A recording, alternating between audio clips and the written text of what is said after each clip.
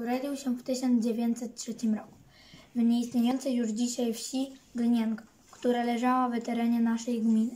Samochodem to tylko 17 minut od naszej szkoły, ale Franek pewnie pokonywał tę trasę rowerem. Oblicz ile czasu mogło mu to zająć, jeśli jechał ze średnią prędkością 15 km na godzinę. Od 1910 roku uczęszczał do szkoły po- powszechnej w Morawsku, a później w Radojewie.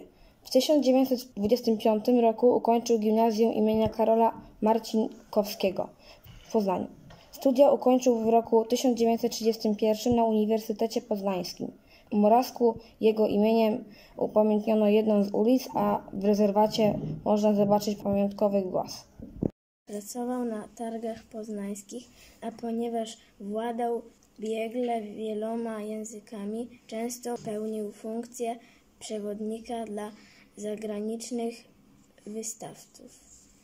Od wczesnych lat swojej młodości zajmował się zagadnieniami związanymi z krajoznawstwem i turystyką. W wieku 20 lat wstąpił do Szkolnego Koła Krajoznawczego Młodzieży w, gimna- w gimnazjum imieniem Karola Marcinkowskiego. W latach 30. był sekretarzem oddziału Polskiego Towarzystwa Krajoznawczego. Organizował liczne kursy y, oraz wycieczki. Z pasją opowiadał o turystyce i swoim kraju, nawet w obozie jenieckim, y, do którego trafił podczas wojny. Tuż po wojnie przywrócił do działania poznański oddział PTTK i został jego przewodniczącym na wiele lat. Dzięki jego staraniom ponownie zaczęło działać wydawnictwo Kronika Miasta Poznania oraz Towarzystwo Miłośników Miasta Poznania, któremu prezesował w latach 1945-1948. Od 1945 roku był członkiem i działaczem Ligi Ochrony Przyrody.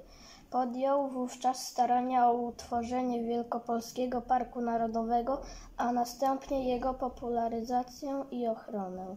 Był wrażliwy na kaleczenie piękna ojczystego kraju. Podejmował starania o jego ochronę, w którą angażował się bez reszty. Jaśkowiak napisał dużo przewodników krajoznawczych, ukazując w nich piękno Wielkopolski, które dla niego miało zawsze wartość najwyższą. Przewodnik po Wielkopolskim Parku Narodowym wielokrotnie był wznawiany przez wydawnictwo poznańskie. Tę książkę możesz wypożyczyć w naszej bibliotece.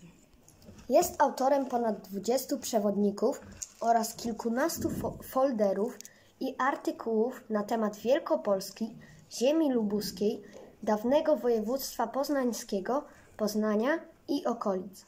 Franciszek Jaśkowiak zmarł 28 kwietnia 1983 roku w Poznaniu.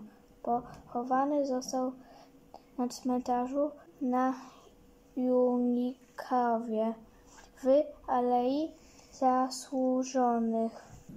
Pamięć o Jaśkowiaku jest pielęgnowana do dzisiaj między innymi przez tablicę pamiątkową umieszczoną na kamienicy przy Starym Rynku w Poznaniu, głaz w Wielkopolskim Parku Narodowym, ulicę pomiędzy Radojewem i Morawskiem, głaz w rezerwacie meteorytowym w Morawsku, szlak turystyczny w Wielkopolskim Parku Narodowym, nadanie jego imienia oddziałowi PTTK w Poznań Nowe Miasto, ustanowienie nagrody medalu jego imienia.